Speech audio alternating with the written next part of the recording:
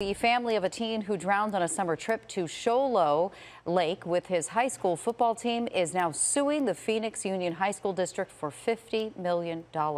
Christopher Hampton didn't know how to swim. The family attorney says coaches and administrators at Cesar Chavez knew that and let the kids get in the water anyway.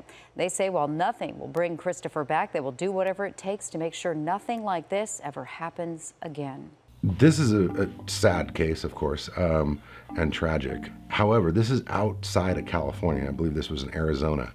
In California, if you, your student, your child goes on a field trip, you sign a waiver, it's a requirement. The schools have immunity from negligence.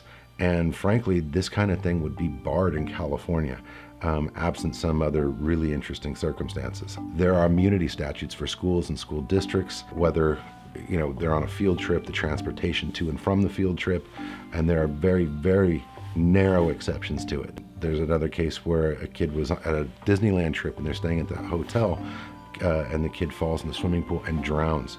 And it was the, the court held that the school did not have any liability. They had signed the waiver, and that's it. It, it absolutely tragic. Yes, the school should have provided people that would supervise these kids.